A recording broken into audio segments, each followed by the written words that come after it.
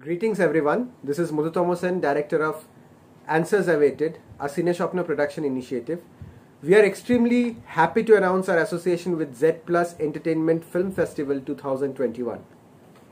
Pradosh is a simple postman with a limited salary that somehow caters to his basic amenities. On being assigned the task of discarding a lot of wrongly addressed letters, he noted that all the letters bore the same address. Curiosity got the better of him and he decided to go through them. Apparently, some influential politician had played a tactical gimmick to gain popular support. He had asked the people to write letters to an address expressing their grievances over corruption with an assurance that justice shall be served. The people penned their grievances through the letters soaked in the pain of injustice.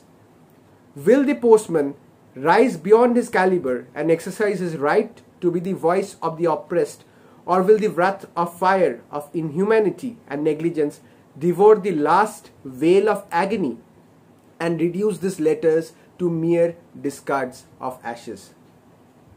We thank Z Plus Entertainment Film Festival 2021 for considering our critically acclaimed film.